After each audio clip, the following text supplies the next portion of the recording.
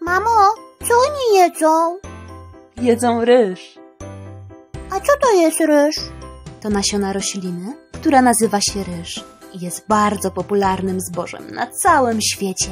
A jak się robi ryż? Ryż jest szczególną rośliną, którą można uprawiać na różne sposoby.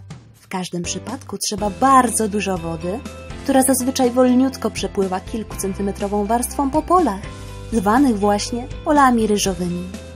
Woda ogrzewa się w słońcu i nocą utrzymuje w cieple delikatne roślinki, którym w przeciwnym razie byłoby bardzo zimno.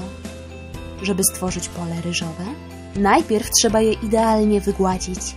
Do tego celu służą bardzo mocne ciągniki z dużymi łopatkami, które do utrzymywania się w prawidłowej pozycji wykorzystują promienie czerwonego światła, lasera.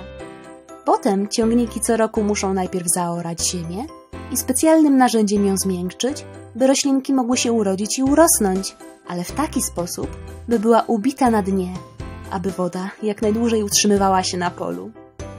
Pola ryżowe zalewa się wodą i ziemia zamienia się wówczas w błoto.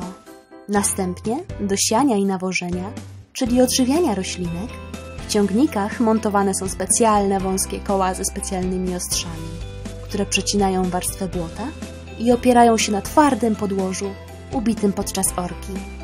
Potem trzeba poczekać, aż roślinki urosną dzięki energii słońca i powietrza i całkowicie dojrzeją.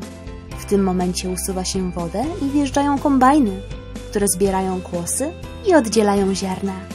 Na końcu ziarna są rafinowane, stają się białe i są gotowe do gotowania i zjedzenia. Jupi! Wszystko zrozumiałem! Teraz idę!